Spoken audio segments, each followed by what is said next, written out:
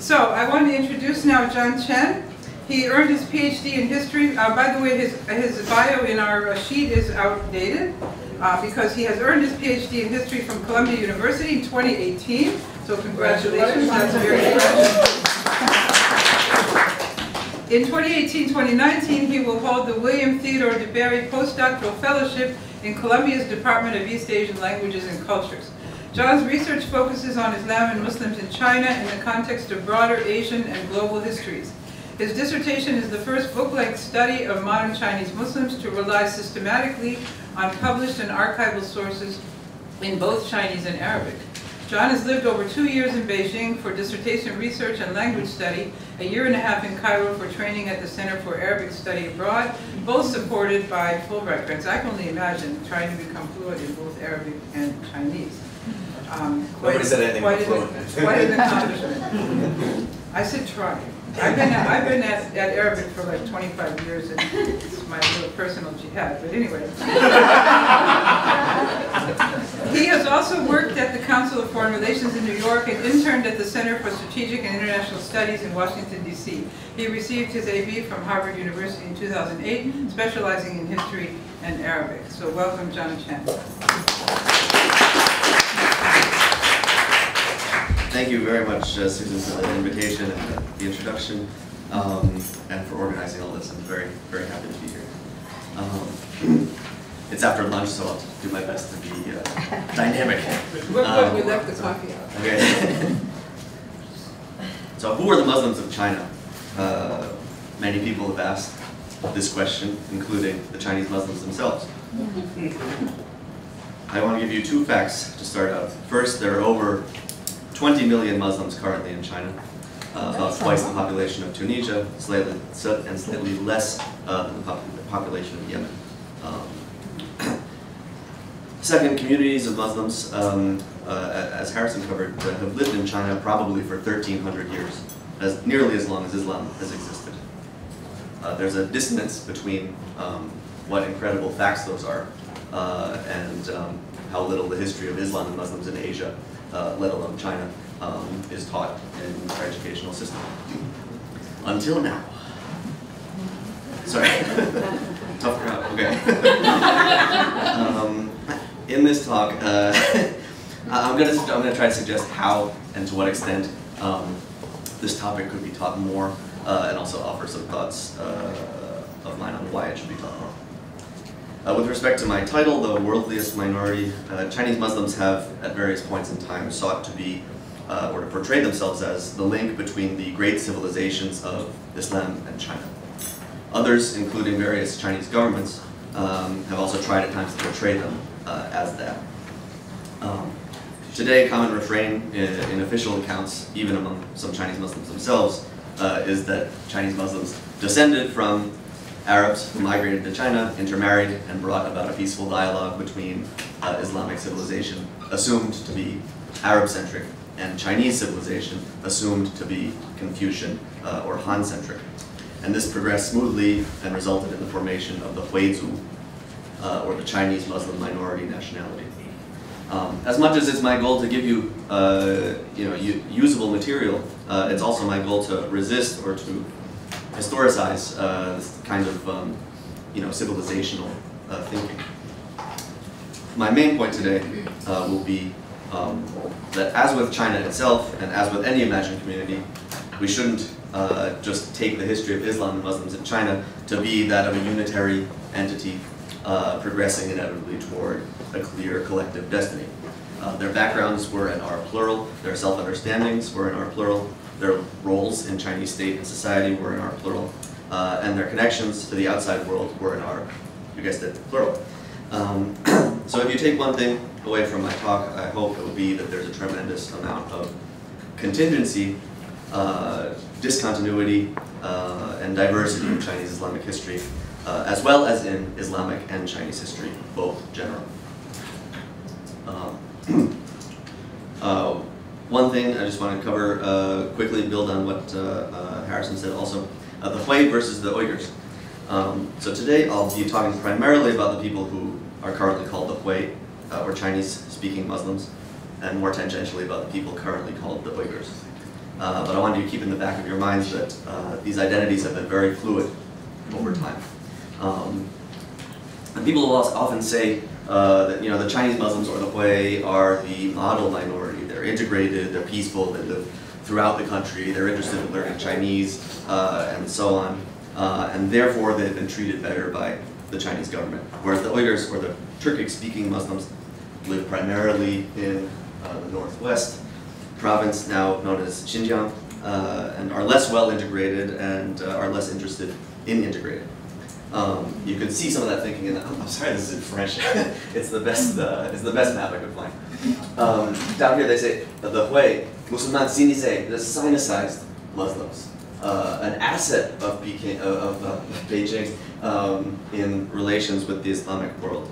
Um, meanwhile, the Uyghurs, perceived by Beijing as a, an internal menace.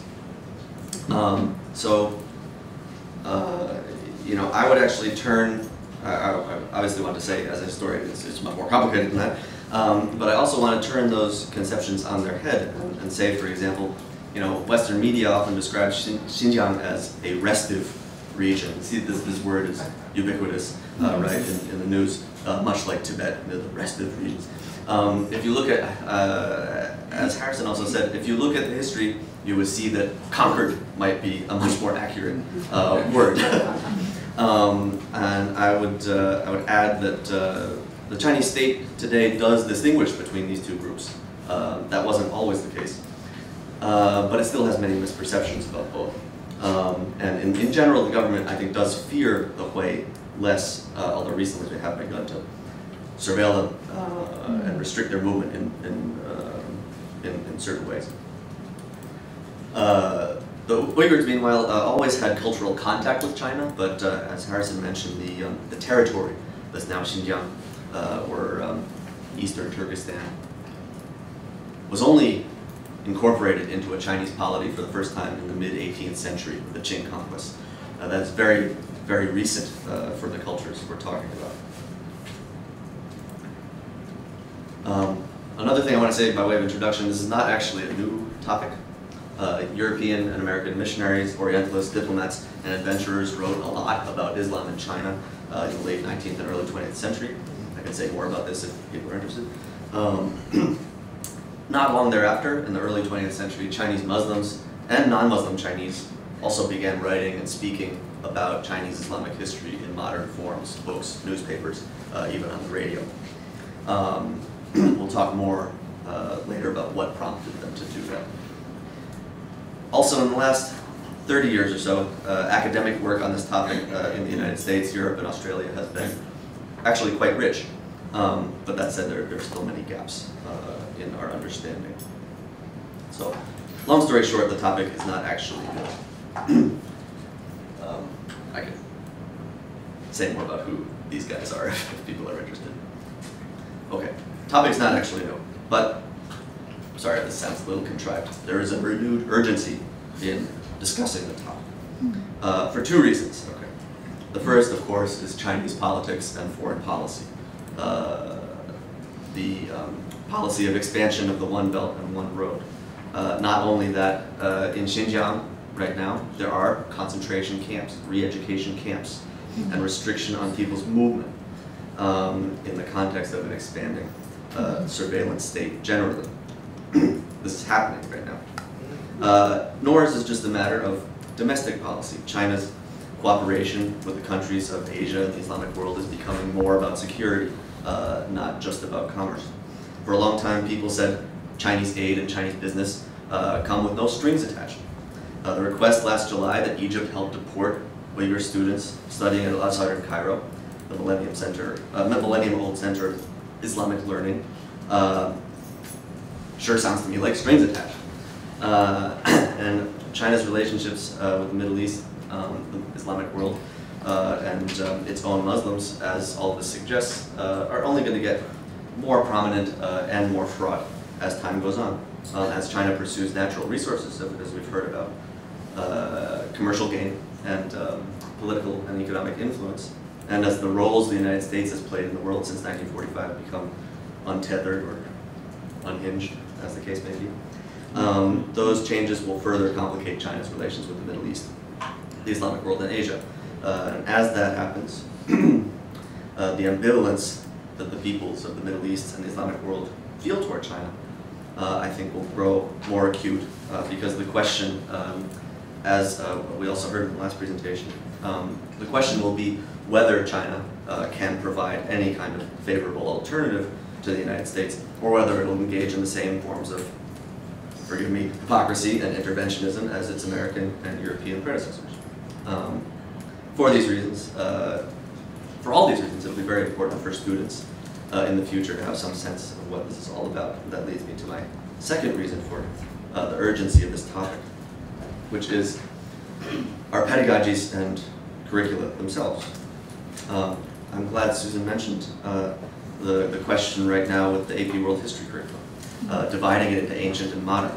Um, although, uh, you know, maybe there's no ideal solution to that uh, question, I, I fear the result of dividing it into ancient and modern um, will, the, the result will be that students will know considerably less about the world before 1500. That is the world before European dominance, right? Um, because I have to imagine that, you know, most students will, you know, if they can only do ancient or modern, they'll probably choose modern. Um, so how to continue pushing for inclusivity uh, in the world history curriculum at a time when the scope or shape of that curriculum is changing, uh, perhaps at the disproportionate expense of non-Western histories. I'll go ahead and answer my own question. Um, I think emphasizing connections between Asian societies uh, can be one relatively efficient, elegant, um, and I hope exciting way of teaching, especially the pre-1500 material. My main concern, however, is not uh, just that the world history AP doesn't teach enough non-Western history, it's also about how it teaches it. Um, so I'll just ask for your indulgence with this one example um, to show you what I mean. Uh, this is an actual question from the 2017 World History AP uh, short answer section. Uh, it says, I'm sorry, it's a little bit small. It says this is a, a scroll, a, a, portion of a scroll painted during the Song Dynasty around 1100. Um, stop talking to the microphone. The, uh, the image, um, the image uh, shows um, Guo Ziyi, uh, a Chinese general of the Tang, meeting with Uyghur nomads on the frontiers of China. Explain two ways in which this is a continuity in China's relations with frontier peoples, and say one way that those relations changed after 1100.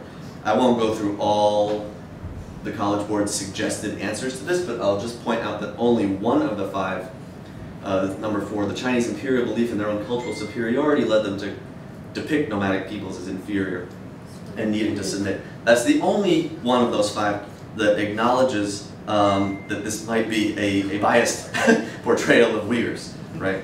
Um, so I, I won't, um, again, I, I, won't go through all my feelings about this that I wrote out here, but um, I would just say a couple things. You know, the test needs to encourage students to ask questions like, would a Uyghur painter ever paint something like this? No, I've never seen an Uyghur that looks like that. Uh, I've never seen anyone that looks like that. um, and, okay. Uh, second, um, using chronology as a as an analytical tool, right? Um, since Chinese history is so long, right? So many dynasties. Uh, the alleged character of each dynasty is an incredibly political issue for people in China today. And I think a question like this should encourage students to ask why was the Song, the later dynasty, portraying the Tang and its frontier relations in a certain way. Um, finally, uh, again from this third section, I think better questions will also refuse uh, to echo, this is very important, official discourse. It, it's ubiquitous in Chinese official statements. You know, China is the world's country with the longest continuous history, right? They have a little inferiority complex about Egypt. My colleague, uh, Kyle, who we'll hear from later this week, wrote an article about this, China versus Egypt, you know, the early 20th century archaeological discoveries, right? Egypt was undeniably 2,000, uh, according to, actually thousands and thousands of years older than China in terms of the demonstrable archaeological record. So that's where that's kind of where this word continuous comes in. So I was very surprised to see the test using a word like continuity um, in a sort of non-critical way in this context. Um, the answers I would give to the continuity question are, one, multiple Chinese dynasties portrayed foreigners and frontier peoples as barbarians. Two, multiple Chinese dynasties struggled to control the frontier territories, uh, and the territory shifted very much over time. Uh, and therefore the need to moralize about the ideal relationship between steppe and song, or wen and wu, or etc., uh, was consistently reflected in Chinese art, regardless of what was actually happening or not happening on the frontiers. Three, every Chinese dynasty had the advantage of writing the history of the dynasty before it. Uh, and most tended to politicize people and events from the previous dynasty uh, in that process. I hope any of these more critical answers would still be accepted as correct on the AP. I'm not trying to like make us choose between um, principle and practicality here, right? Um, I think you know you could, we can we can uh, we can we can teach to the test and teach beyond the test, uh, hopefully at the same time.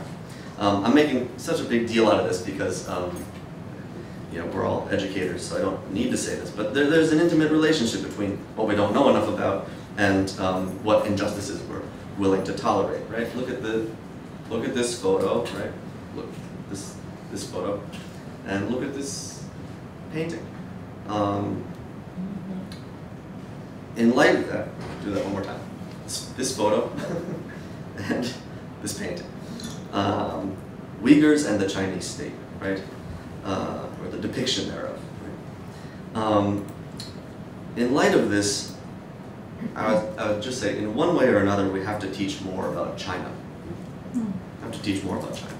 Uh, then, then the question is, how do you teach it?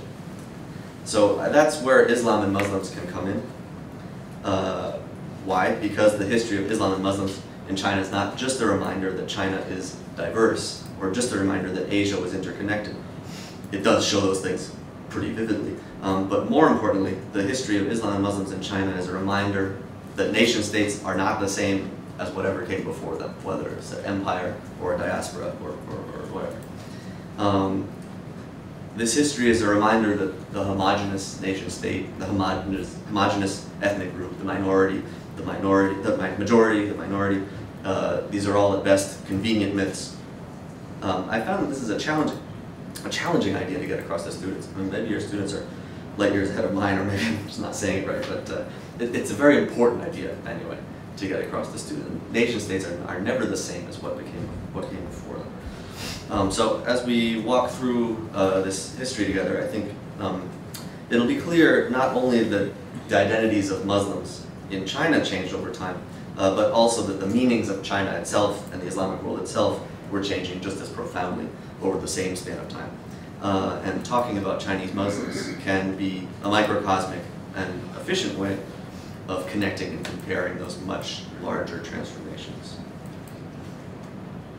this, I just included these in case we wanted to refer to them, but you can see the, the territorial changes. Uh, long story short, you can see the territorial changes um, of the various empires that occupy China. Okay.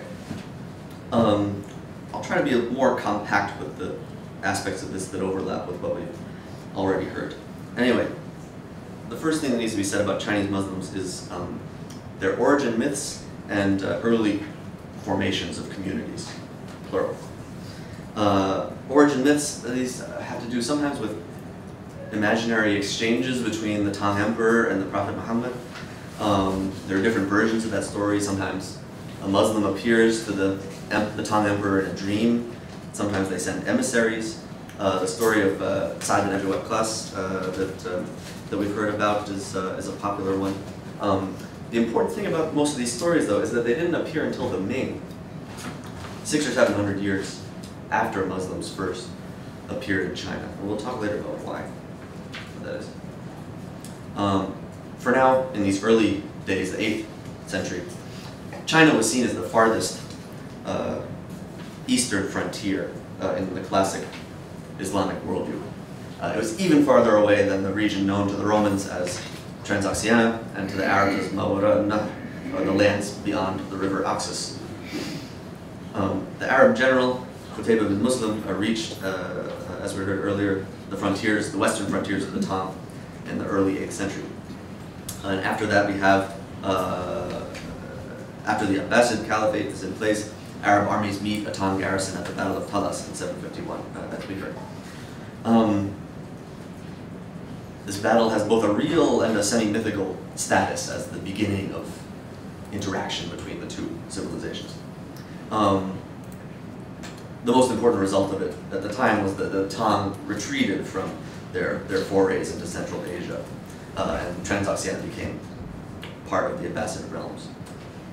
At that same time, or soon thereafter, uh, Arab and Persian merchants also began arriving by sea in southeastern China. You see from uh, the graves at Guangzhou and Quanzhou. Um, as you're, uh, actually there was a question about this before, you're probably already sensing there's a problem of attestation here. Uh, the question of origins is extremely important both for our scholarly knowledge and also for the self-knowledge of Chinese Muslims themselves. But a lot of it, by definition, is extremely difficult to know. Uh, so what do we know? We have first some, some physical and archaeological evidence. Uh, there would be a lot more of it if it weren't for the Cultural Revolution, uh, as well as the development boom that followed it. In any case, the, the great mosque of Xi'an, uh, in Tang times known, known as Chang'an, uh, the eastern terminus of the Overland Silk Road, capital of the Tang, one of the largest cities in the world at the time, over one million people. The establishment of a mosque inside the walls of Chang'an was a significant event and spoke to the creation of a more stable community, not just soldiers or, or, or merchants going back and forth, but, uh, but a, settled Muslim community in China. You also have um, the Huaisheng Mosque in, uh, in Guangzhou. Uh, I, I, don't have an image, but you saw it uh, in the earlier presentation. And finally, the tombs uh, in uh, Guangzhou and Quanzhou that have multilingual inscriptions. Second, there are also some written sources. Chinese dynastic records note tribute from Muslim countries beginning during the Tang. Um, also, there are some Arabic travel accounts, uh, some, some famous ones. Um, Hassan ibn Yazid Abu Zayd al-Sirafi, uh, claiming to be based on an earlier work by uh, Suleiman al-Tajir. I, I, can give you these names if you want, Sorry, they're not all up there. Um, Akhbar as-Sin wal-Hind, the, the uh, Chronicles of China and India from around 850.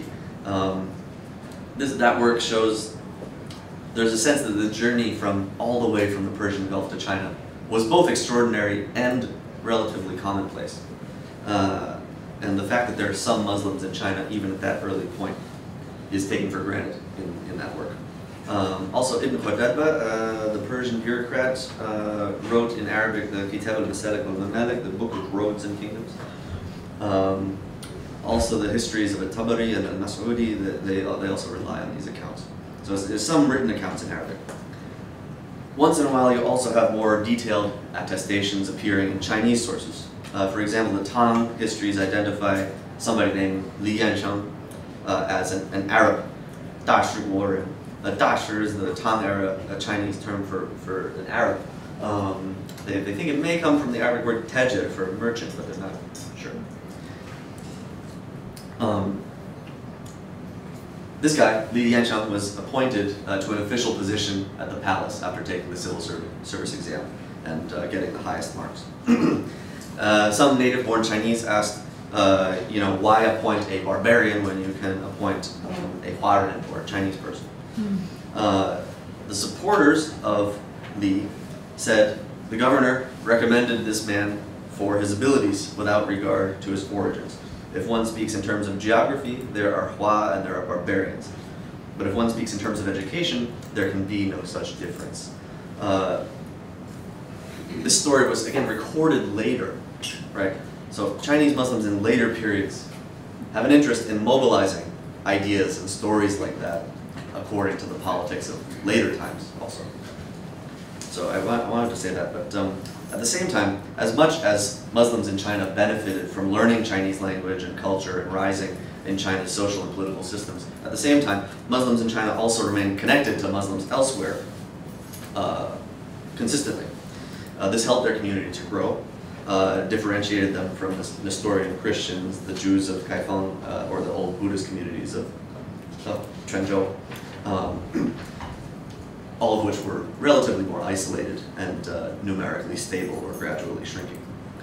Uh, by contrast, had so many Arabs and Persians uh, by the, the Song era that it was also given an Arabic name, Zaytun, uh, meaning olive. Merchants came here from around the Indian Ocean, uh, which also, which brings me to the next point. The rise of the Xixia kingdom near the terminus of the old overland Silk Road prompted uh, overland trade to be directed further south around the year 1000, uh, but also encouraged sorry, a greater volume of it to move by sea. Um, so yeah, we heard about this uh, uh, from Harrison also. Um, it was not unusual for there to be Muslims from all over Asia living uh, in several parts of China. Um, what happened was, so the, the Muslim merchants uh, would live and operate especially in Canton, uh, Guangzhou, they called it Hanfu, uh, Quanzhou, they called it Zaytun, also Hangzhou, and Yangzhou is not on there. Uh, anyway, south, the southeastern port cities and also along the Grand Canal and Yangtze, the greater Yangtze Delta. Um, but they also remain connected to this vast system around the Indian Ocean. Srivijaya, Banda, the Spice Islands, Bengal, Malabar, Hormuz, Hadramaut, Aden, uh, Zanzibar, Cairo, um, all these places. Seaborne trade peaked in the early Song when Chinese sources recorded 56 tribute missions uh, from Southeast Asia, South Asia, and Middle East in the first three imperial reigns alone. Um, the sea routes, as Harrison mentioned, were um, generally less precarious than the overland routes.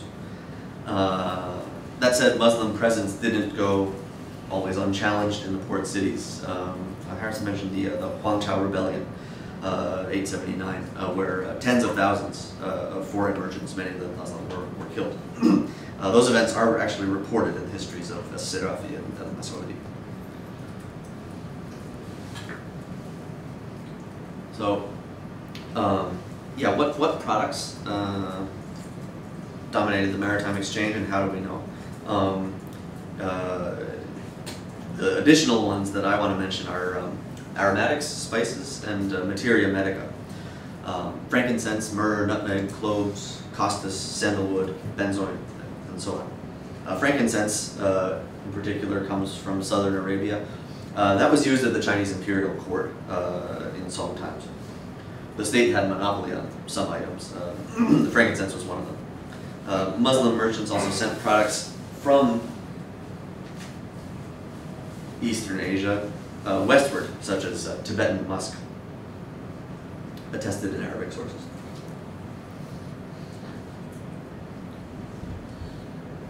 So the, part of the evidence for this is pharmacopoeias written in Chinese. Uh, one example of this is uh, Li Xun, you see it on left here. Um, lived in the 9th century, a scholar, merchant, and pharmacist whose ancestors uh, had migrated from, uh, from Persia to Sichuan uh, sometime during the Tang. Um, so, uh, so Li had a, you know, his studies, but also his family's aromatic business. Uh, and uh, the entries in his pharmacopoeia, the uh, Haiyao Bencao, uh, or a, a, miscellany of maritime materia medica, uh, include information on the etymology, the origins, the forms, and the uses of many, many, of about 140 materials, the, plur the plurality of which came from Southeast Asia, and many of which had not been recorded in earlier Chinese works. This original text was lost, but um, seminal Chinese pharmacopoeias uh, from later periods um, contain several of the materials that, uh, that Li cataloged. Um, so you see, some of the products are actually nativized before the Muslims themselves are nativized.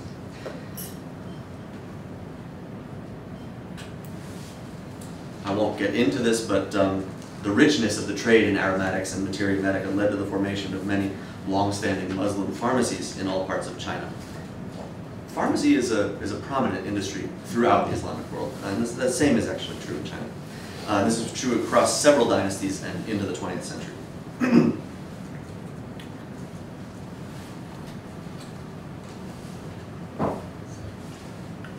Besides spices, aromatics, and materia medica, we also, of course, have bronzes and porcelain, uh, traded on maritime routes because you don't want to feed an animal to drag something that heavy over um, there's an interesting story about this. Uh, the um, these quintessentially Chinese blue and white uh, uh, porcelains. There's a great article about this. Um,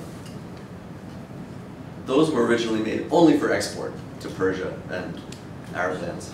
Uh, originally, for the domestic market, the, the, the Jingdezhen kilns would produce only greens and browns and you know monochromatic stuff. Uh, they called the blue in that Hui Wei Qing, meaning Muslim blue. Um, by the Ming, they decided this stuff actually looks pretty nice, so we're gonna keep it for ourselves. Um, but they also produced, as you see here, they also produced uh, a lot of those porcelains with Arabic script on them. Uh, the, the Chinese people at the kilns didn't know what they were writing, or maybe they had a Muslim to help them, but probably didn't know what they were writing, uh, but would just produce it and then they would sell it. of course, also texts. Uh, here you have a, a, copy of the, uh, sorry, the, the, the Dala'il al-Khayrat, uh, which is a, um, a Sufi text from Morocco from the 15th century, spread to all regions of North Africa, uh, Middle East, Asia, Southeast Asia, and China. This one is interesting because um, it's, it was found in Xinjiang in the 18th century, but it's written in the, the Sini script, uh, or the, the, the, Chinese Muslim style of Arabic script. Um, you also, of course, have Qurans moving back and forth, but uh, uh, not always as much as you might think. Um, in any case, the maritime exchange goes on for, for, for generations. Next, the unprecedented Mongol integration of Asia that uh, we've also heard about.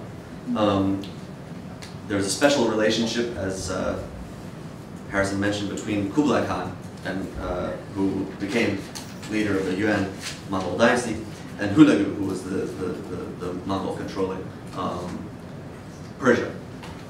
Uh, Hulagu supported Kublai's claim to the, the throne of the Yuan uh, at the Mongol succession meeting in 1259, so then they had, they had a good relationship uh, going forward from that. Uh, so this facilitated all kinds of po political and cultural exchange between those two in particular. Uh, also, the Mongols have conquered Baghdad. There's an enormous transfer of personnel, soldiers, administrators, scientists, astronomers, everything from Baghdad, from the former Abbasid territories to Beijing, or Khanbalik as it was called. Um, at this time, Muslims occupied positions above the Han, second only to the Mongols. Um, Marco Polo was also considered one of these foreign advisors, but most of them were Muslim. Um, we also have military figures. Um, a guy named Sayyid Ajaz Shamsuddin Omar al-Bukhari from, from, from Bukhara, uh, a Muslim, um, conquered the province of Yunnan and governed it on behalf of the Mongols. This was not, this province was not part of China before. You also have um, Muslim, a third of all um, maritime uh, port directors, uh, uh, directors of, of, of, maritime trade under the Mongols were Muslim. Um, also scientists and polymaths and astronomers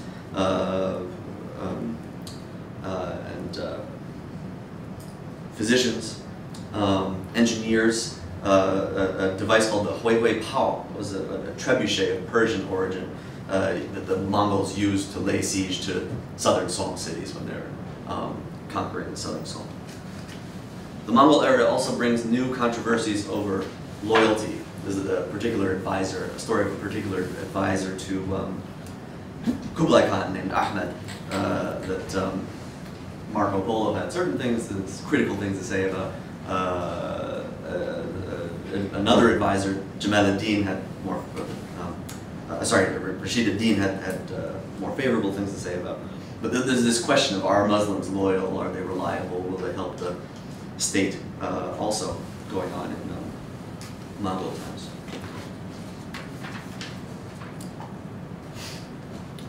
Um, I won't get into all of this, but uh, uh, just a very important, of course, uh, attestation of Muslim presence in China in the Mongol era comes from Ibn Battuta, uh, sort of the epitome of a peripatetic pre-modern Muslim.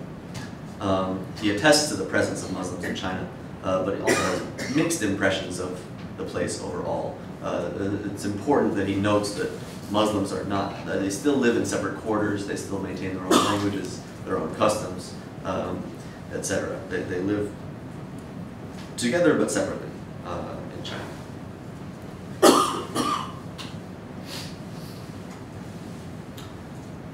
the Mongol to Ming transition uh, has been called one the most important transition in uh, Chinese Islamic history uh, because the Ming was the first self-consciously Chinese dynasty.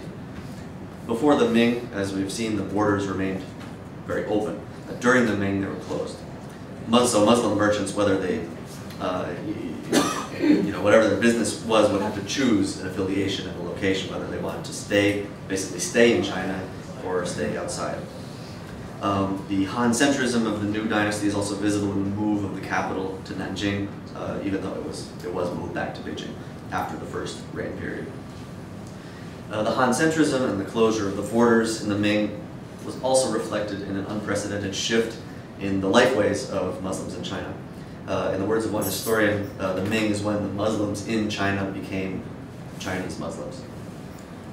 Uh, as early as the Song, dynastic records contain funny categories like the Tu Sheng Fan Ke, which is a, means native-born foreigners, a funny phrase, um, and similar phrases.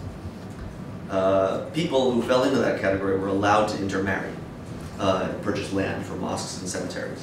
Uh, they could also become officials, um, but they still lived separately. So the Ming changed all that. The Ming uh, pursued two diametrically opposed policies in sequence toward Muslims, uh, both of which reveal, again, the Han centrism of the dynasty. Um, they didn't ban Islam outright, uh, like other foreign religions, um, but uh, they were clearly anxious about Muslim power. So at first they tried to homogenize through exclusion. They tried to say no intermarriage, no changing your surnames to Chinese surnames, uh, no living together, etc. Uh, no constructing mosques. Soon they realized that homogeneity would be better achieved through assimilation than exclusion. Uh, so they started, the Ming started encouraging intermarriage between Muslims and Chinese, started encouraging Muslims to take Chinese surnames, Mahmud, Muhammad changed to Ma.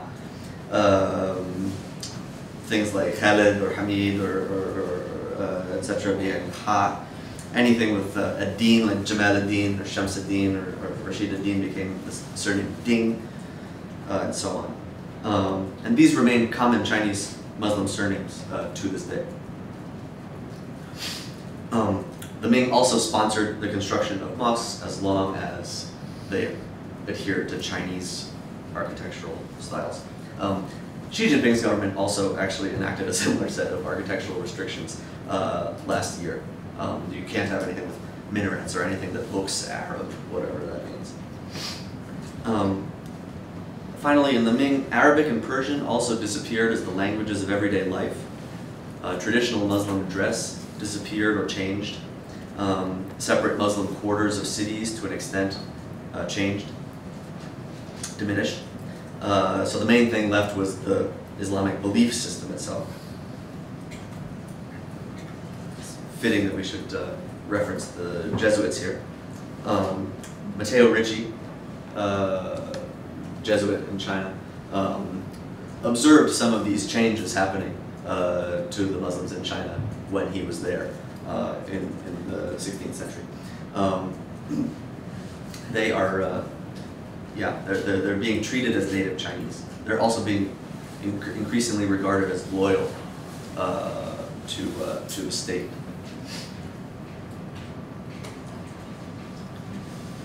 Um, again, also the uh, Zheng He voyages. Um, again, this, this, is regarded, you, will see questions about this on the World History AP, as you know. Uh, so this is, you know, regarded as a, an episode of world historical significance. But what is that significance? Um, we, we, know that the fleet was, of course, very impressive. Um, uh, we know a lot about um, skill as a navigator, um, but uh, sometimes the, the historians uh, haven't fully addressed why it's important that He was a Muslim. Um, so I, I, just I also want to connect the dots a little bit here. He was a Muslim born in the province of Yunnan uh, under the name Ma He and was the fifth or sixth generation descendant of the aforementioned Sayyid Ajil Shamsuddin of Bukhara, the Muslim who conquered Yunnan for the Mongols. He's family were local Muslim elites in Yunnan, and his father was a Mongol loyalist at the time of the Ming takeover. uh, the Ming killed his family and captured He, castrated him as a child, uh, and brought him to the palace in Beijing. Um, so, uh, you know, as common as castration was uh, during most Chinese dynasties and situations like this, uh, I think in this case we have to note that this was also specifically uprooting local Muslim elites in a recently annexed frontier province, uh, removing their ability to self-perpetuate and co-opting them through official patronage. Uh, and Zheng voyages in a way represent, represented the completion of that process. Uh, you know, the scion of the former uh, Muslim Mongol loyalists were now acting at the behest of the new Ming conquerors uh, to project Chinese power toward Muslims abroad, and also, uh, no doubt, to make a statement to Muslims at home. Um, by the next couple of centuries, you start to, you, this is the, after 700 years of having Muslims in China, this is the first time Chinese Muslims are writing and speaking. The first extant examples we have of Chinese Muslims speaking and writing for themselves as Chinese Muslims. Um, this tradition is called the Han Kitab. This is the, or the Chinese Islamic canon. Is the Chinese word for Chinese plus the uh, Arabic word for book. Um, it's also known as Hui Ru, uh, or the Islamo-Confucian tradition. Um, this is where Chinese Muslim elites uh, serving as literati and writing in Chinese um, would explain Islamic doctrines and practices and histories uh, in a Confucian idiom. Um, uh, as much as this has been treated as a, a remarkable, I'm gonna, I'm gonna keep being cynical here. Um, as much as this is treated as a remarkable moment of cultural synthesis, I think the timing also speaks to the pressures, the political pressures that Chinese Muslims were feeling, right? Uh, the pressure due to the closures of the borders, uh, the pressures due to the Han centrism of the Ming, um, even though the Qing is not Han, of course, um, but, uh, but the Qing is expansionist. They're expanding into Muslim territories on the western frontiers. Um, and they are, you know, the, the Qing is, is, on the whole, less friendly toward Muslims than the last foreign dynasty, the Mongol. So here, uh, we don't have to, uh, you can read this for yourself, but um, uh, quotations like this um, capture the general, the general spirit of um, the Han Kitab tradition, which is, um, again, mobilizing the earlier past, uh, or certain aspects of the earlier past, to say that Chinese Muslims belong in China and they're loyal to China. They have a special relationship with uh, Chinese state, Chinese society. Location is also important. The Han Kitab authors lived in the eastern Chinese cities. They did not come from uh, the, west, the northwestern territories. Um,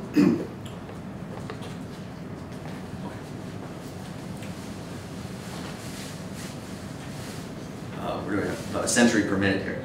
Um, the 17th and 18th centuries saw new Sufi groups forming in northwest China.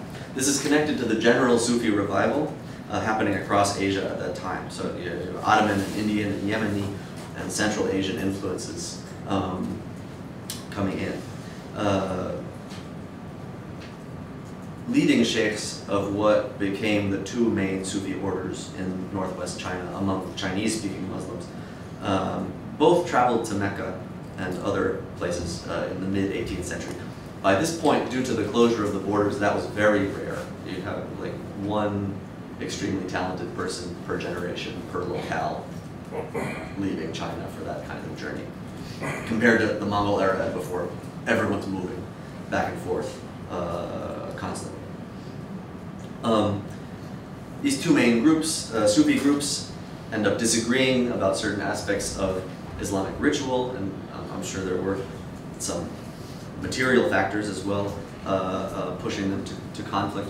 Um, they disagree over, over the zikr, the, the whether um, uh, remembrance of God should be vocal or silent, uh, and other, other ritual aspects. Um, the thing is, uh, this is when the Qing is moving into northwestern China. Uh, they too, like the Ming, close, keep the borders closed. They also set up, they have to set up a legal regime. Um, uh, this legal regime often involves separate treatment for Muslims. Uh, so the Qing, the Qing end up ruling and uh, not in the sense of governing, but uh, uh, passing legal decisions on questions of Muslim ritual in these newly conquered territories. So it, get, it gets complicated. Um, everything boils up in the 19th century. You have rebellions uh, in the northwest, in Xinjiang, and in Yunnan uh, of Muslims against the Qing. This is, in a sense, part of the general weakening of the Qing Empire in the 19th century. This is co coincides with the Taiping Rebellion. But it is also a part of the Muslim reaction against the Qing incursions into those territories. Zuo Zongtang uh, uh, and his uh, Han army from Hunan were sent to pacify uh, the northwest and reconquer Xinjiang for the Qing after a, a, heated debate in Beijing about whether they, they should just focus on the, the problems with the Westerners and the treaty ports or, or also try to reconquer this, this territory out west. Zuo Zongtang, it took him a very long time. Uh, he killed or forcibly relocated thousands of Muslims. Now he's known uh, more readily for uh, General Tso's chicken uh, than for um, this uh, pretty brutal legacy.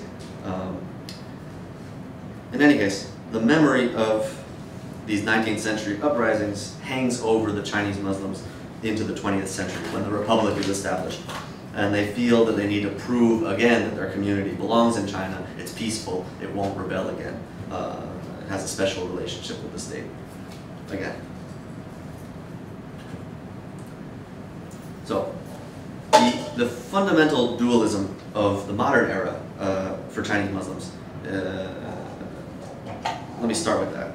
The new communication technologies, combined with the tremendous uh, political, intellectual, and cultural ferment uh, across the Islamic world at this time, allowed Chinese Muslims unprecedented opportunities to connect, uh, or they would say reconnect, with Muslims outside China. Right? Um, but at the same time, Chinese nationalism is putting unprecedented pressure on them, again, to demonstrate belonging and loyalty to China. Chinese Muslims no, no longer have the luxury of abstraction that they had with the, the Han Kitab, where they can just say, oh, Islam and Confucianism are, are similar, they're, they're philosophically equivalent, they're separate, separate but equal, right? Uh, they, they, can't, they can't make that kind of argument anymore. Um, in a modern nation state, they have to somehow subordinate Muslimness politically to Chineseness. Um, in other words, they have to answer the question, uh, who are you, um, uh, in, in a totally new way. Um, just to give you some of the uh, events here, the earliest re record we have of a Chinese Muslim going on the Hajj uh, to Mecca in the modern times is um, Ma Dexin, also from Yunnan, in the 1840s. Um, have some, yes, images from his travel log here. An accurate portrayal of the, the Kaaba uh, at Mecca and a description of, um, I guess I have to take my word for it, a description of, um, of Cairo uh, in both Chinese and Arabic.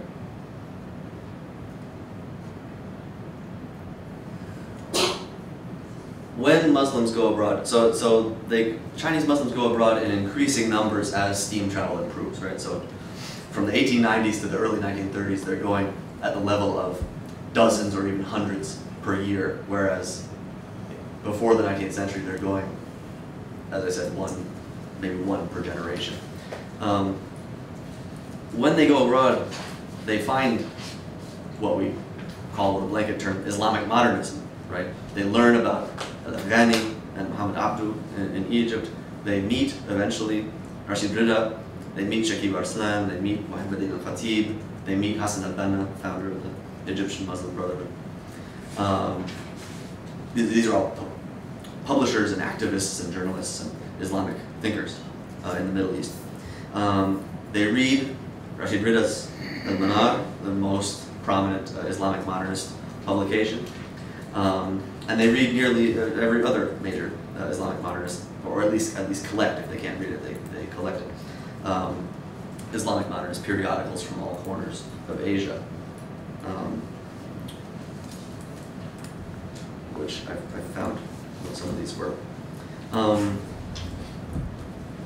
so they also, like those, like their counterparts in the Middle East and elsewhere, they increasingly come to stress, as Islamic modernists, both reason and revival in Islam. Right? They also stress education reform. They stress women's rights. They stress science and democracy. They stress Islam's compatibility with all these things. Um, Chinese Muslims are, are, greatly influenced by these ideas uh, coming in from elsewhere.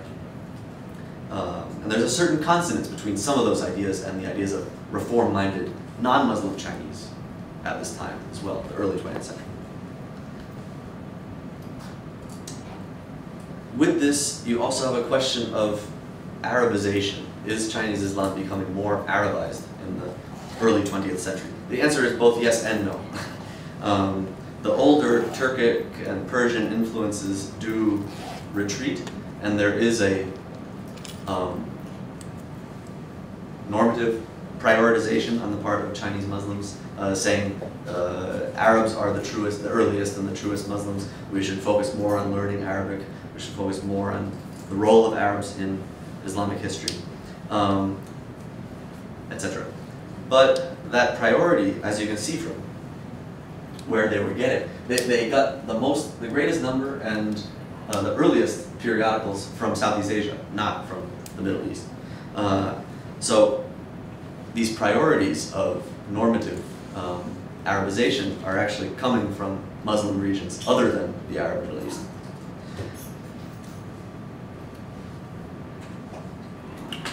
Then you have the issue of what's going on with China. Um, the empire to nation transition in China, much like uh, in Ottoman or Austro-Hungarian empires, it has certain consequences, right? Han ethnocentrism returns. Uh, Sun Yat-sen and others debate what the place of minorities should be in the new nation state. Um, but now that the Manchus are gone, uh, it's widely accepted that the country is essentially Han, and then there are others in subordinate. The second feature of the empire to nation transition, as with almost everywhere else in the world, is that print media explodes, right? And public conscious mass politics expands tremendously.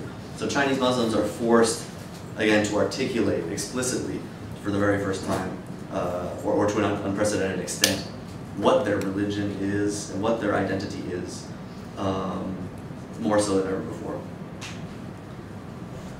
Um, but they're doing so, sorry, yeah, they're doing so in a way that's still connected to what's happening in the Middle East, South Asia, Southeast Asia.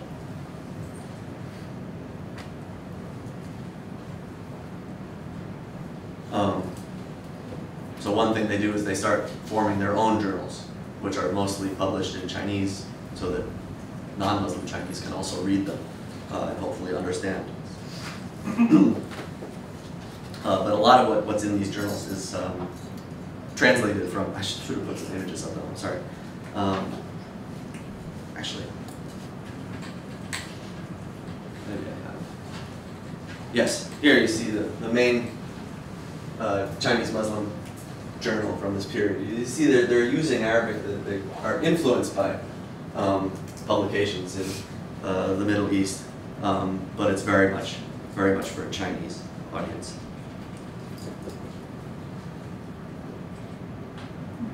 Um,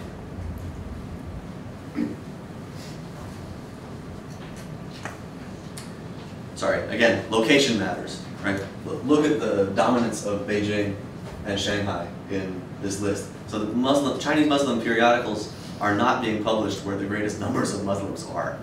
They're being published where the most powerful Muslims are, and also where the centers of, of state power are, right? And where the infrastructure is the most developed, the eastern cities.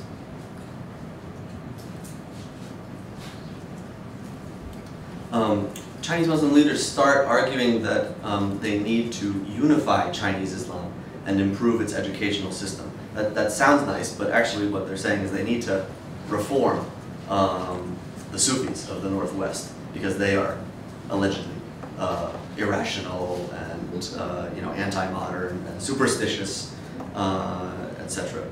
Um, the people making that argument are the biological, intellectual, and in some cases biological descendants of the Han Kitab authors. They live in the eastern Chinese cities, and they have a vested interest in being more integrationist than uh, Muslims uh, on the frontiers, arguably. Um, so they say, uh, yeah, they want to tell the Muslims on the frontiers uh, that, uh, you know, we need more, not less dialogue with Han culture, Confucian culture. Um, At the same time, they also say we need to bring frontier Muslims, Islam, in line with the spirit of the times, uh, which by that they mean um, make it more rational and also more Arabized. So here you have um, just a catalog of Arabic language books that uh, was collected in Shanghai by some of the people I'm talking about. Um, and it, it, adheres to the uh, standard division of the Islamic sciences uh, that was being taught in Egypt.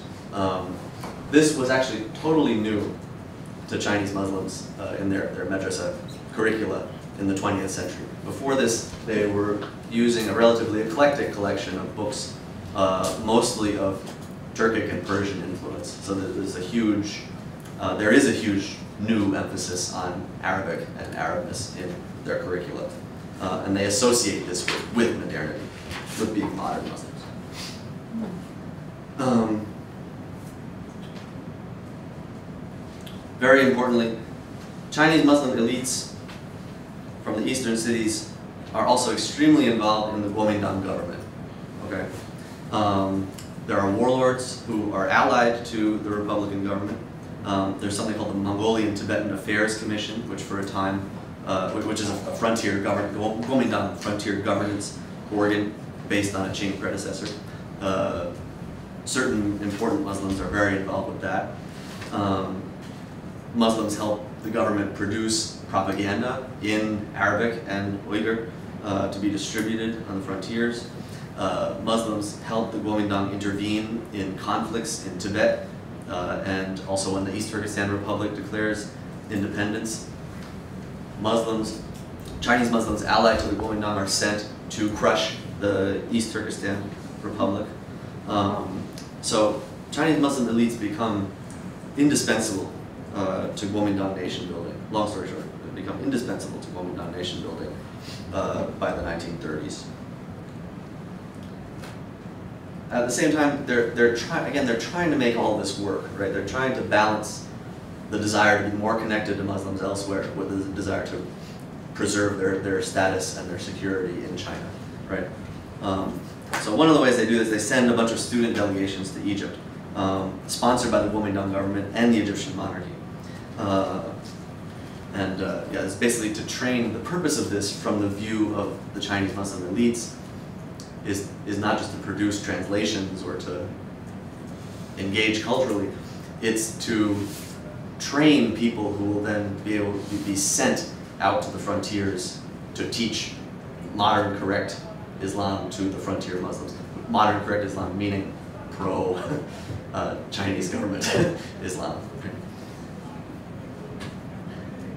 The other uh, signature achievement of um, this period is uh, Chinese Muslim diplomacy during the war with Japan.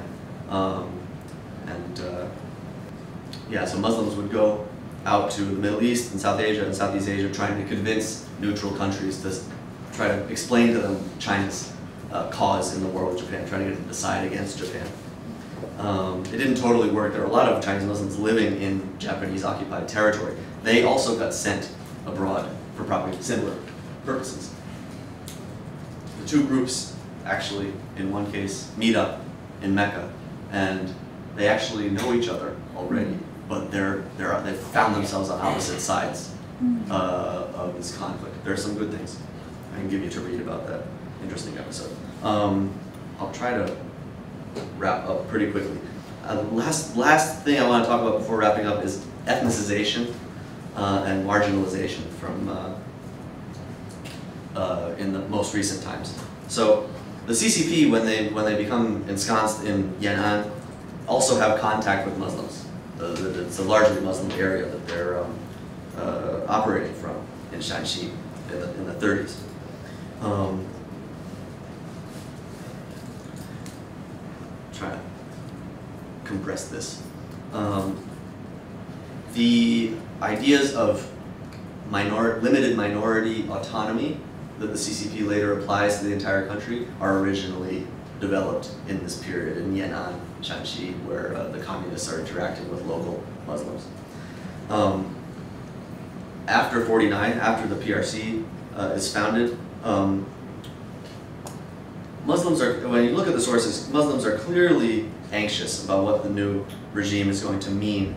But for about 10 years, uh, you have the PRC adopting some of the same uh, tactics of, of, of, using Muslims for certain political purposes uh, that the Republic did. So Zhou Enlai, when he goes to the Bandung conference, the first Afro-Asian conference in uh, April 1955, brings one of these prominent Chinese Muslim elite imams uh, with him um, to show Nasser, to show everyone that uh, China is, is still friendly toward Muslims. I, I don't know if Zhou realized that Nasser had put the Muslim Brotherhood in jail in Egypt uh, the year before that. Um, in any case, it's really starting in the late 50s that under the anti-rightist campaign, the Chinese Muslims are, are more persecuted. Uh, during the Cultural Revolution, um, this increases. The worship, uh, uh, travel abroad, pilgrimage, uh, even certain foods are prohibited from Chinese Muslims. Um, in the 80s, with the opening up, um, Chinese Muslims are able to go on pilgrimage again uh, and go abroad for study again, but it's in a highly, even more highly scripted and, and, and monitored manner than before. Um,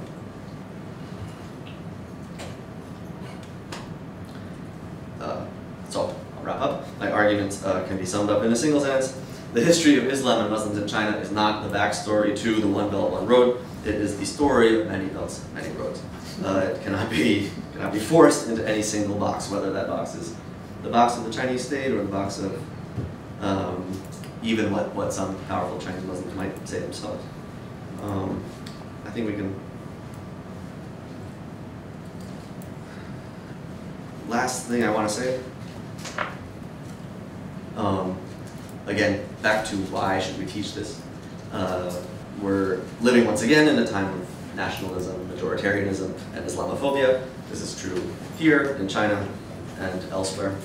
Um, you can use, so in light of that, you can use the history of Islam and Muslims in China as a vivid illustration of the expansiveness and complexity of the Islamic world um, and of Islam's complex and long-standing engagement with um, various non-Muslim societies. You can use it to show that there's no such thing as civilizations clashing. Um, Huntington actually talked about something he called Islamo-Confucian civilization um, being a threat. He probably didn't realize that there was actually something called the Han Kitab, which also called itself Islamo-Confucian civilization, um, but was completely different, of course, from what he was talking about. Um, you can also use this to, not to undo, but to qualify and historicize the idea of Islam being an Arab-centric uh, phenomenon.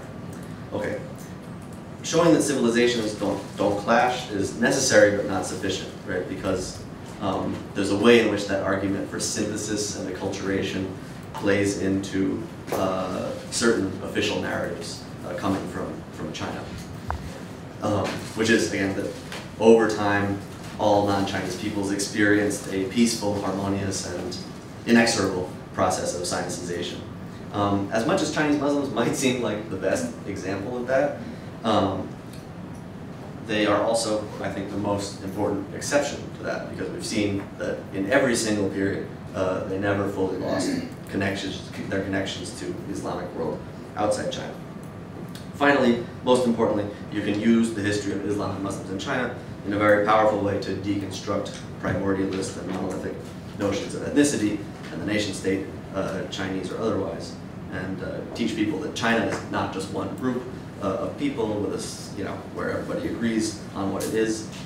And uh, despite being very old, uh, in some ways it's actually quite similar to places like the United States or other uh, other modern nation states.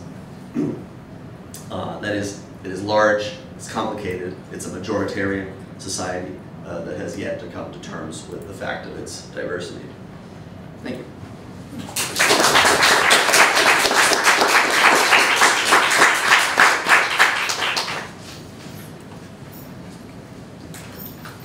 very much. I'm going to get the microphone going here.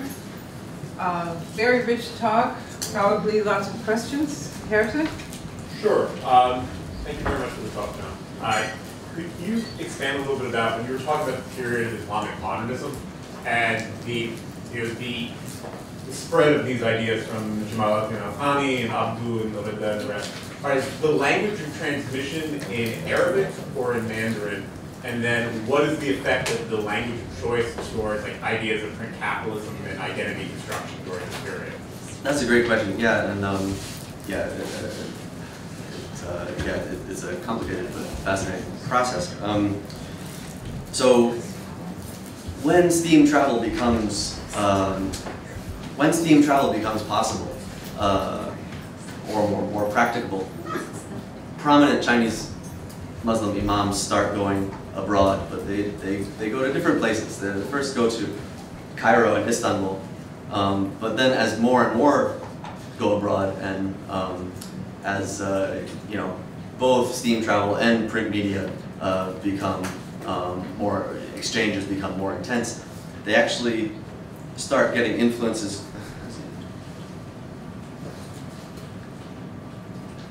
Again, influences not just from the Arab Middle East first, but from all over the place. Um, and uh, this creates a problem. There's also a practical problem because um, the, the language of transmission often was not, not Arabic or Chinese, but English, right? Because they, they didn't, um, you know, South Asia and Southeast Asia, there are a lot of English-speaking Muslims there. They're geographically more proximate to China. Uh, they can get a lot of those, as you can see from this, get a lot more of the Muslim writings from India uh, and, and Southeast Asia. This makes a problem, though, for the ones who decide that they need to pursue a more um, orthodox is a tricky word, but a little more orthodox, a more uh, middle of the road, um, uh, you know, take on on modern Islam. So uh, they're they're actually collecting in the 20s a lot of works by the Indian Ahmadiyya movement, which is uh, considered at the time to be uh, by, by many to be completely heterodox. Um, and they're completing, they're co collecting those materials in English. Um, then this one guy who happens to be a Chinese Muslim studying in Lucknow, uh, in India, um, figures out that this is going on, that the people in Beijing or his co-religionists in Beijing are collecting Ahmadiyya works, and he writes them because Lucknow is a completely Arab-centric, you know, they, they only read stuff from Cairo and Mecca, um, you, you know, and, and they're very um, uh, preoccupied with or orthodoxy. Uh, he writes to them saying, you know, no more of this. You have to read only things that are produced in Cairo and Mecca and, and, and uh, um, places like that. So there's a very contingent um, turn toward Arabization by the only by the 1930s, actually, uh, as a result of this, this, as you said, this you know exchanges of steam and print. Um, uh, it starts out going one way, then in the middle it goes all these different ways, and then uh, contingently turns back toward emphasizing Arabic and Arabs. It's a wonderful question. Thank you.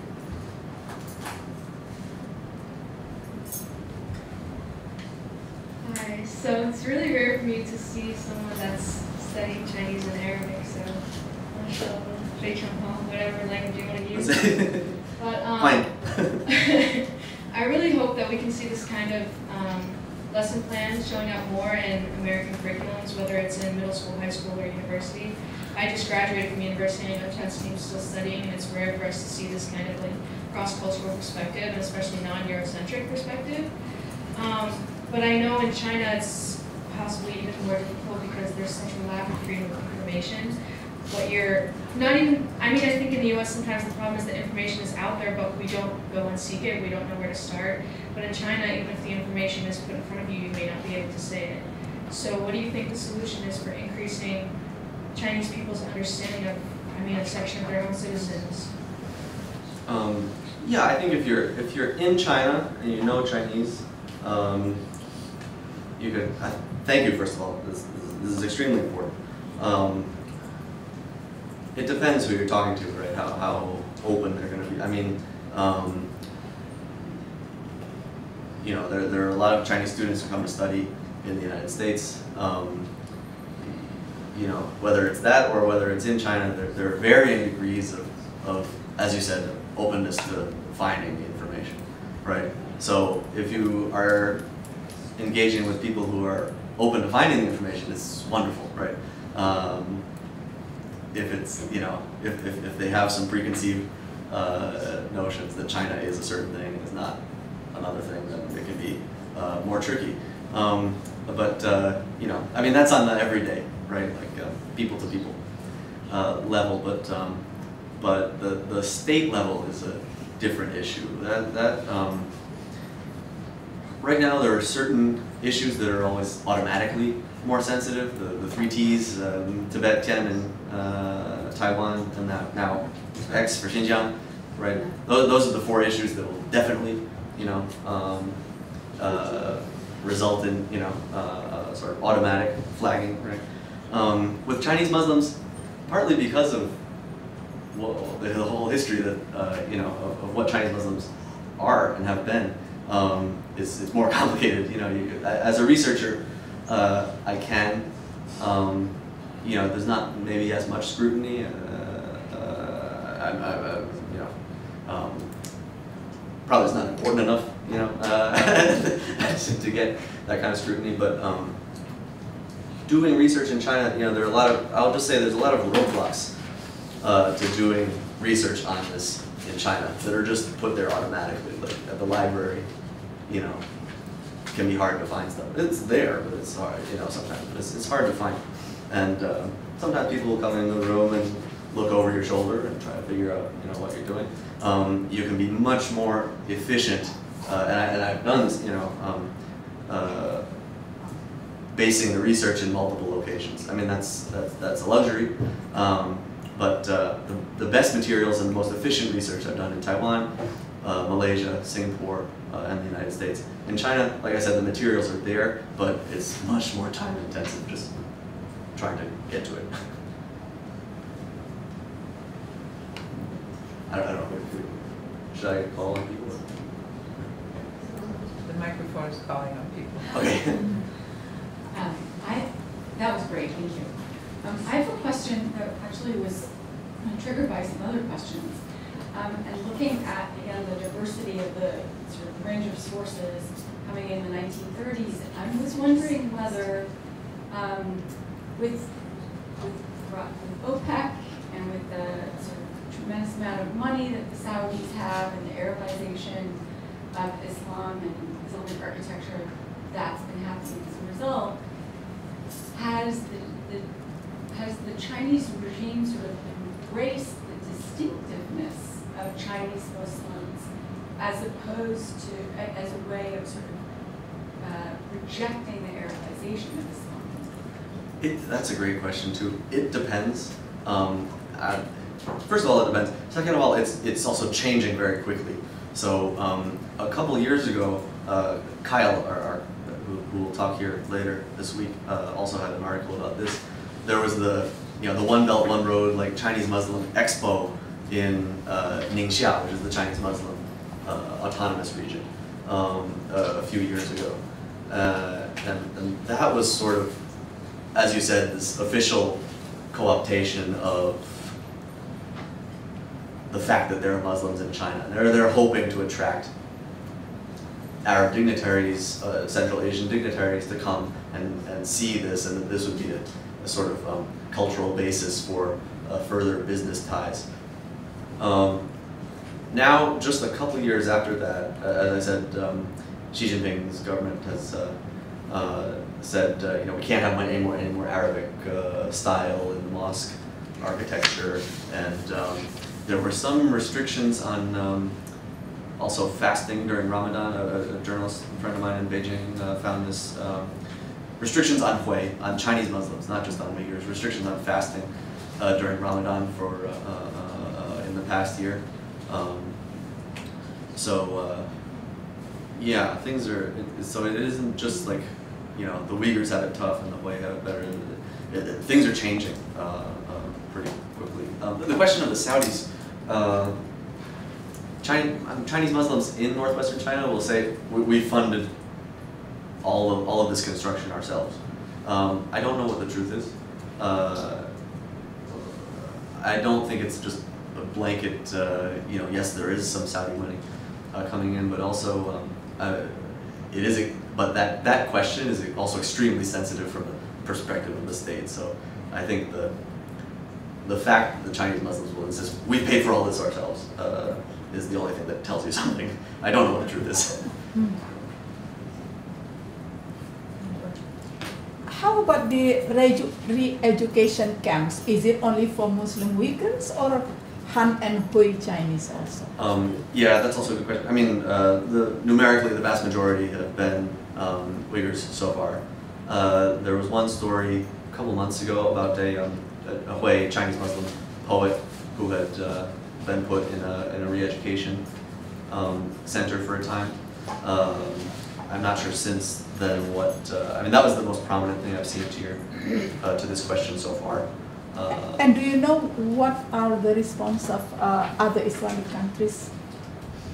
I mean, a year ago, uh, Egypt complied completely with this, uh, as far as we can tell, with this um, Chinese request to deport the Uyghur students studying at Al-Azhar. So, um, you know, it, it, it varies, of course, uh, by Yeah. country, but on, on the whole, um, I, I'm not the best person to ask for the details on this, but um, there's no clear Muslim country that is saying this is wrong and this has to change. This, I, mean, I, I, haven't, I haven't seen. Um, if I'm wrong about that, I, I would love to be uh, corrected, but I think it's, um, you know, yeah, the commercial relationships are very powerful. Uh, Yeah, thank you again for such a fascinating and rich uh, presentation. Um, And and you mentioned possibly about uh, sharing some of the bibliography. Uh, You were mentioning some of the primary sources, whatever, it would be great to get that. Absolutely. Um, I just have a a random question. So you were talking about the um, participation of Arabic, I think you said in the in the Uyghur um, uh, uh, populations. I just wondered, um, I don't know what the historicity of Tilawat or recitation of Quran is, but what, is there any talk about that? Because I know with my own students who are non-Arabic speaking, they, but there's a connection to Arabic that persists and then also is revived a lot of times. So I, I just wonder what, if there's any uh, primary source discussions of that or anything. Um, yeah, that, that, that's, that's a really good question, and it's, um, it's also a complicated uh, issue. Um, for Chinese Muslims, you have different practices. You, you do find uh, before the 20th century and, and into the 20th century um, use of Chinese syllables to, I'm sorry I don't have an image of this, but use of Chinese syllables to approximate the sounds of Arabic so you can help people who only know Chinese to start out approximate the sounds of Arabic. That's used more in Eastern China, for Muslims in Eastern China. For Muslims in the frontiers, Chinese-speaking Muslims in the front, Chinese-speaking Muslims on the frontiers, it was often the opposite. They they had a system uh, like they knew Arabic script, but could only speak Chinese, but couldn't read Chinese.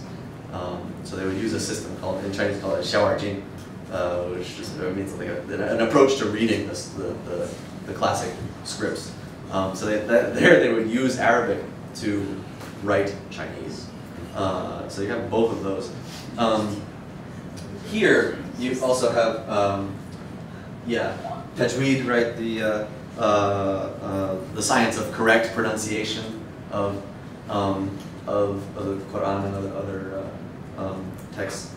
Uh, that also becomes an issue because in different parts of China, the, for the reasons I, have said, the pronunciation of Arabic varies widely, and knowledge of Arabic varies widely. I mean, a lot of Chinese Muslims will, will have will be given Arabic names, right, uh, or will at least know how to pray in Arabic. But um, sometimes it, when it comes out, it will actually be Chinese syllables, not you know.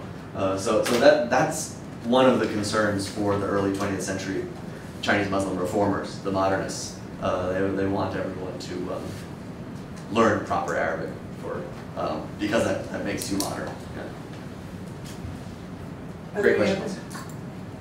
Um, I don't have a terribly focused question. Um, I'm gonna sort of seek a little bit of guidance here.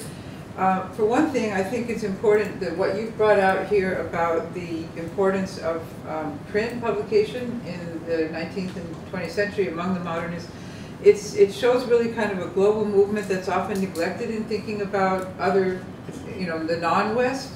Um, that they, people were not drag kicking and screaming in the 20th century or something. They were thinking about these things as soon as, uh, through print media, through journalism and, and sort of renaissances of journalism. Um, so I think that's something to sort of think up, think about globally as you look at, at uh, not just Muslim culture, but, but other cultures that were processing uh, some of these ideas that were coming out of uh, what sort of might call liberal reforms, modernist reforms, and so on. My question that's not very focused, though, is about um, a question I'm sort of exploring is what happens to Islam through this reform, modernizing and adapting to the nation-state system. Um, we often decry the sort of lack of diversity, the sort of idea that you want to strip away the folk practices, strip away the mysticism, you know, get down just the facts, ma'am, and you know the Arabic and this kind of thing. Do you observe that too, in, in as a kind of trend of what's what's moving here? Yeah, it depends. Different. Um, what I've found is uh, different leading Chinese Muslims um, would pick up on uh, different aspects of Islamic modernism for different reasons, and it's, it's hard to generalize about why certain ones would pick up on some and, and others others. Uh, but um, one definite thing I have noticed is um, the Chinese Muslim elites who were closest to the Kuomintang government. Um, that, that's the period I focus on the most. Um, the ones who were closest to the government actually, and I, I hesitate to say this because it sounds like a generalization. It's not meant to be a total generalization, but the ones who were closer to the government emphasized the um, the strict orthodoxizing um, strains of Islamic modernism uh, more heavily. And the ones who were more skeptical of the government, it, it, it's intuitively not surprising, right? The ones who were a little bit more skeptical of what the elites were doing, a little more skeptical of what the government was doing, were more interested in the strains of Islamic modernism that focus on ijtihad, right? A reason, you know, the use of uh, human reason to navigate your own uh, personal and political circumstances in life. Um, uh, so that is what just just one. uh, thing that I did definitely observe in the sources. Yeah. Right. So there's this sort of, you know, trend tend of going against the idea that, you know, you, uh, the problem with not being modern is that you're, you know, religious, and so kind of trying to do that, and, and loyalty to the state versus a sort of supranational ideal of, of religion is, is kind of a characteristic, again, that cuts across, you know, many of the dialogues, and, and indeed shares literature. Yeah, exactly. Yeah, I mean, yeah, just a, another way to phrase what I was just saying. I mean, like, yeah, the, the elites who are more connected with the government want to help the government to sinicize the Muslims on the frontiers, right? And they see that as being the best way to secure Muslims in China generally. Um, the ones who emphasize reason more, um, you know, they just they want Muslims in China to be better Muslims, and they will um, you know, they, they feel that the politics will improve automatically if they do that uh, first. Both extremely problematic positions, right? um, but I do see that, I do see that, I get, I got that tension in the sources. Thank you.